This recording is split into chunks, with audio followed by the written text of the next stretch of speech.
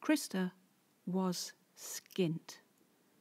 Poverty was the lot of the art student, of course, but the attraction of the lifestyle was wearing a little thin. She wanted to work and to earn from her work, but the obvious way forward wasn't making itself clear to her. Having taken the huge step of defying her family and training to be a sculptor, she was beginning to wonder if she could keep it up. She had qualms about whether she was special enough, sufficiently gifted to stand out from the mass of other young artists buzzing around Munich. She felt ill all the time, worn out. She wasn't wholly convinced that she was going in the right direction, but couldn't see any way out for the time being. And then she met a baron. You're listening to The Kiss, the story of the women who made a movie masterpiece, and this is episode 5 The Baroness.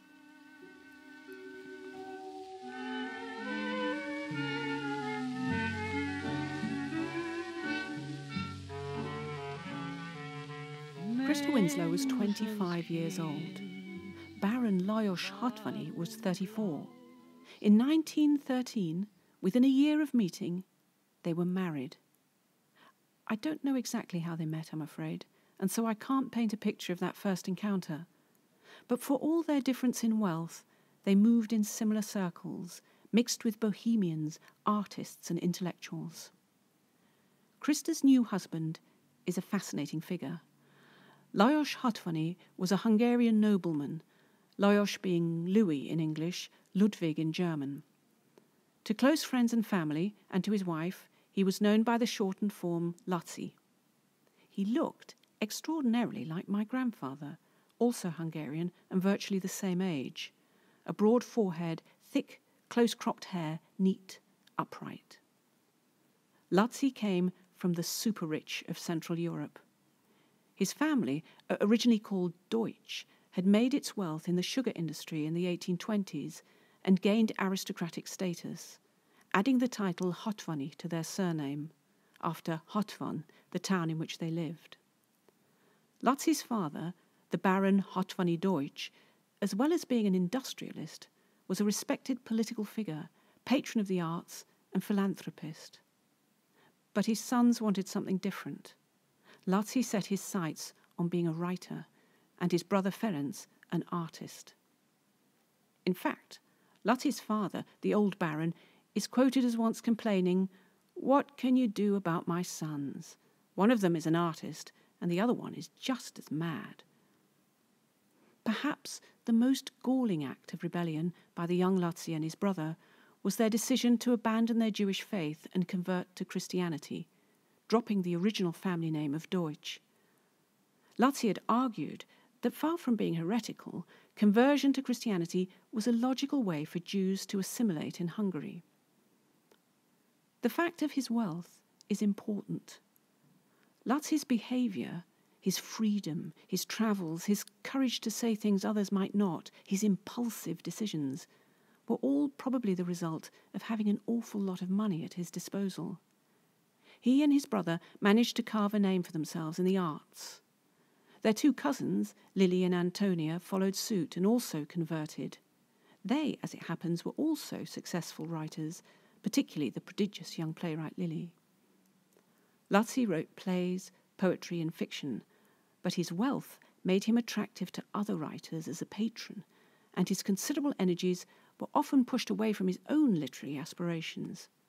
He did it gladly, counting among his genuine friends some of the biggest names in literature and music.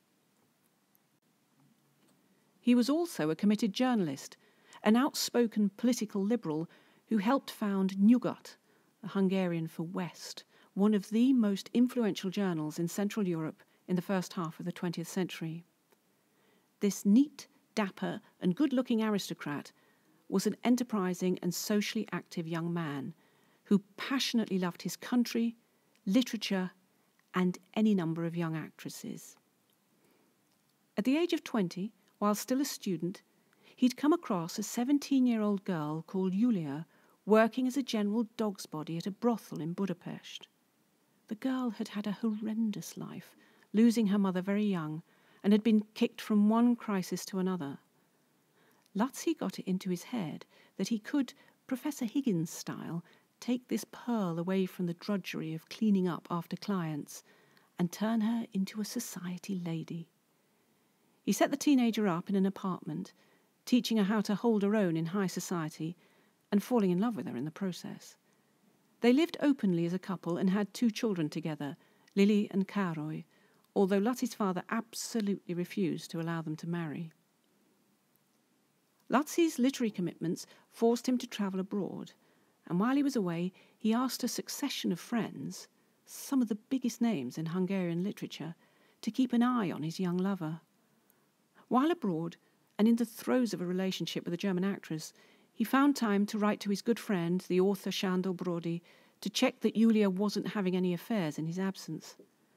In the following years, even as their relationship waned, he never abandoned her financially, and there was no question that the children shouldn't have the influential Hatvany surname. Part of Julia's society training was art classes, specifically sculpture. Laci wanted to nurture talent when he saw it, and took immense pleasure from playing a role in others' creative processes. This is what makes such an effective and important patron of the arts. Far from feeling any kind of rivalry with other writers, he specifically sought them out. It was when one of his plays was being staged in Munich that he struck up his friendship with the German writer Thomas Mann. Mann was still building his reputation, and the two men were naturally drawn to each other. The Baron wanted to immerse himself in the local artistic scene at once. They attended literary gatherings and mixed with the creative set, and it was probably at one of these social events that Laci found himself talking to a young and striking sculptor, a woman of huge charm and even greater self doubt. She didn't know if she'd ever make it, she told him. She wondered if she was kidding herself, and was on the point of packing it all in. Baron Lajos Hatvany was in his favourite territory. He had found a lover and a project at the same time. I must say, I struggle a bit to get my head round this marriage, to understand the true nature of their relationship. Laci led what his friend, the Hungarian poet Ady Endre, called a mad and unbridled love life. He was a kind of cultured playboy, hopping around the glamorous capitals of Europe, gathering to himself anyone of any note. It's impossible to know what drew them to each other, but years later, Christa would insist that they were always good friends, if not exactly lovers. They were both comfortable in literary and artistic circles, as well as in aristocratic ones, and they enjoyed each other's company. I imagine that Laci was not the kind of man it was easy to say no to, anyway. I've seen letters he wrote to his lovers, and they were demanding and passionate. It couldn't have been very hard to be swept up by the charming young Hungarian aristocrat. Laci was nine years older than Christa, well travelled, with astonishing connections, and the social confidence that came of his class. Christa, though wholly attracted to women, did on occasion succumb to the much more overwhelming demands of men. She was open to any affection and drawn by the promise of love and protection. Christa was a very noticeable kind of woman, statuesque, unusual, a real bohemian, a character. She was also an artist in need of support. Not least, she was from an upper class, if destitute, background, and the Baron Hatvany was something of a snob when it came to marital relations. Years later, he got worked up by the news that his daughter Lily was being pursued by a middle class suitor, a very ordinary young man. There was absolutely no way he would accept any connection with what he called a bourgeois Philistine. Christa could hold her own among august company. She was eccentric, not a little snobbish herself at times. She enjoyed dinner parties and loved good food. She particularly relished the company of other women and was about to raise a few eyebrows in these new circles with her increasingly mannish attire. Their marriage, in the winter of 1913, catapulted Christa into a world of immense wealth and influence. She went from being a penniless artist to a Hungarian baroness. True, her baron wasn't the type to sit around in a palace cultivating rare orchids, But it was still a huge reversal in her fortunes. She swapped her dingy studio for opulent hotels and a huge dream car of a Benz driven by a liveried chauffeur. God, she loved that car, and all cars thereafter, relishing automotive transport as the greatest of freedoms. The power to get up and go as far away as possible was as delicious an idea to her now as a pair of trousers had been in her childhood. Whether she was really concerned about her future as a sculptor or going through a brief crisis, she realised that Laci was not going to let her leave go of her ambitions. He wanted her to flourish and create. They decided on Paris as their new home. There they could combine his love of literary society with her need to build a career. Christa was enrolled in art school and had the luxury of her very own studio in one of the grandest quarters of the city, where she could work on and house her statues. They led a beautiful life in Paris. They were a confident and gregarious couple, attending parties, sporting events, the theatre, and they were good companions to each other, well matched, interesting, and entertaining. There was nothing bland or shallow about this lively Hungarian nobleman and his handsome German wife. But it was 1914, and this beautiful lifestyle could not continue in an enemy country. One day, an unknown man was shown into Christa's studio. Instinctively, as a sculptor, she examined his face. But there was nothing remarkable or interesting about it at all. There he stood in her glorious workroom among the graceful busts and statues, entirely out of place. Even she felt a little stunned by the place at times. A year ago, she'd been making the best of what shabby spaces she could find in Munich. Today, she was working in her own echoing atelier in the Luxembourg Gardens, of all places, one of the most exclusive addresses in Paris. As the stranger spoke, it became clear that he knew an awful lot about the Baron and Baroness Hatvany already. Christa assumed by his demeanour that he was a policeman. You're a German national, madam, is that right? he asked. She told him she was now a Hungarian by marriage and title. The feeling that she wasn't wanted there must have been distantly familiar to Christa. She had felt it years ago when her soldier father had been posted to the garrison town of Strasbourg. The whole family had gone with him to that cramped walled city which had recently belonged to the French, but which, thanks to its strategically placed fortress, was too important to the Prussian army to leave alone. They had besieged it and captured it, and placed their own troops there by the time the little Prussian girl had arrived. The feeling of loathing and hostility by the French residents towards the German occupiers was ever simmering. I'll need to see your official papers, said the visitor. She didn't have any papers, she told him. What did a war have to do with her? This was Paris, not a festering little garrison town. This was a city bustling with all the nationalities of the world, a thrilling cosmopolitan centre where she and Laci, her writer husband, had decided to settle. It was exactly the right place for them, because it was full of people just like them beautiful, refined, artistic, above all, enlightened people, detached from grubby politics.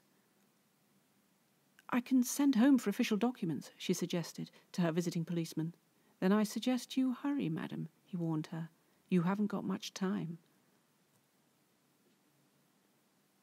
In the end, they left everything behind their furniture, books, papers, her sketches and sculptures, and they decided to give the train a miss too. It was full of desperate people. That was no way to travel. They'd take the Benz and cross Europe, see what was playing out in this darkening continent. Heading back to Laci's homeland of Hungary, they were stopped time and time again by temporary barriers manned by armed soldiers. At each one, they waited politely in the back of the car while papers were looked at, orders sought somewhere out of sight. They travelled deeper into the heart of the continent.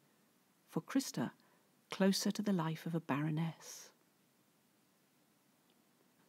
The Hatvany family home was known as the Grassalkovich Mansion, named after the family that built it in the town of Hatvan in the mid 18th century. It's not like a British castle if you're trying to picture it. It's typical of its time and place, warm yellow in colour, low and wide, more a Baroque townhouse amid beautiful gardens than an ancient stronghold.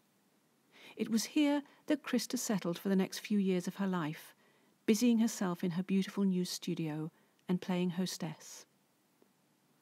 There's a rather brutal description of Christa from this period, written by Ilona Harmos, the wife of the great Hungarian writer Dezső Kosztolányi. Harmos wrote a series of pen portraits of the wives of great writers. Odd choice, but there you go. They were probably written much later, in the 1950s perhaps, and based on memories, and they're not what you'd call unbiased. Very entertaining and eccentric, though. I've made a stab at translating her entry about Christa. Prepare yourself, it's not nice. Just for clarity, the word fabelhaft is German for fabulous. Here we go.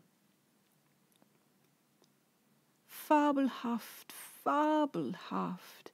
That's what she said about everything, with her deathly boredom, whether it was someone dying, a revolution, or a piece of art. Fabelhaft. She was bored with everything, mainly her husband. She was full of spleen and could laugh with malice. She liked going about in men's clothes. Tall, with broad shoulders and hazy eyes, she behaved among us like some posh person who was just passing through.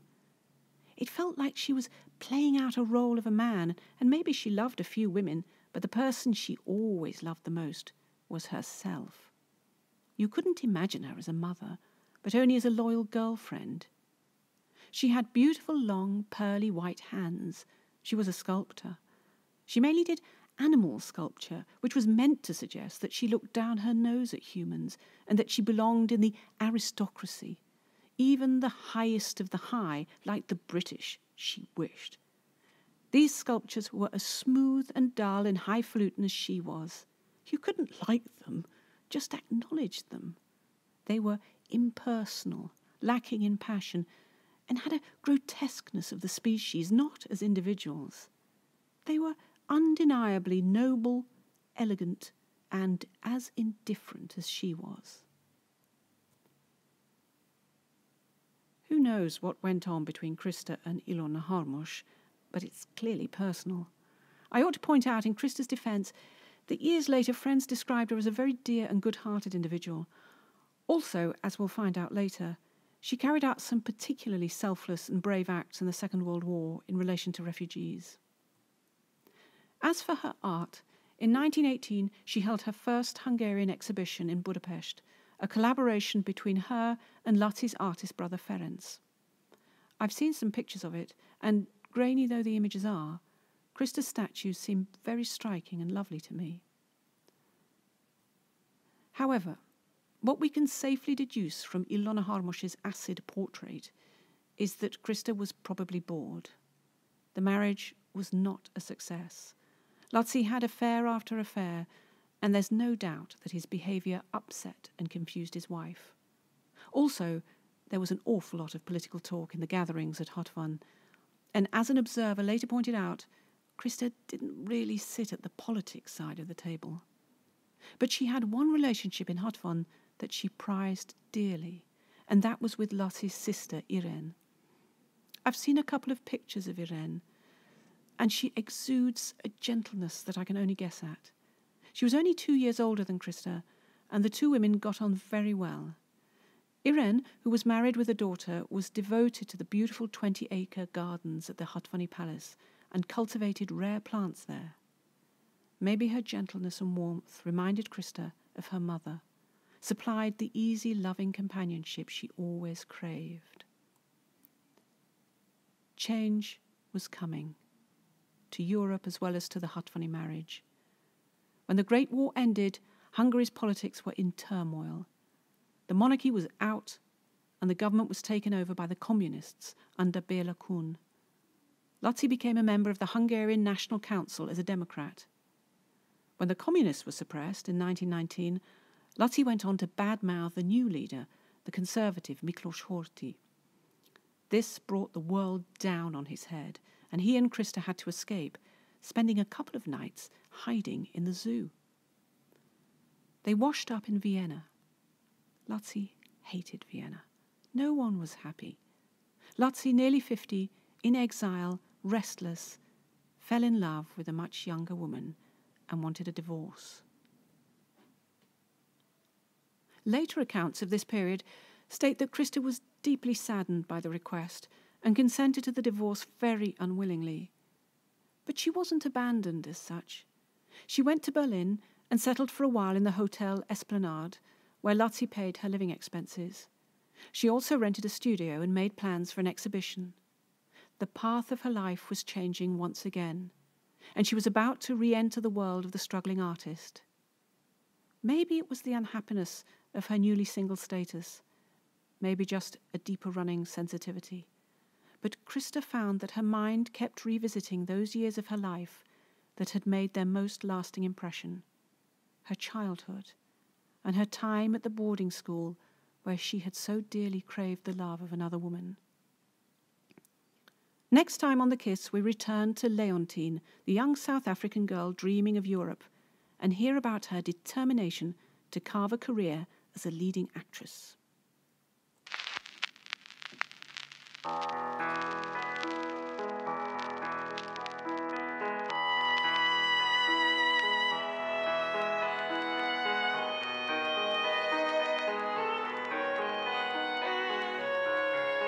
The Kiss was written and presented by Bibi Berkey. Studio production was by Francis Nutbeam Webber. It was directed by Mark Lingwood, and the original music was composed by Timothy Bond. It was brought to you by Tempest Productions.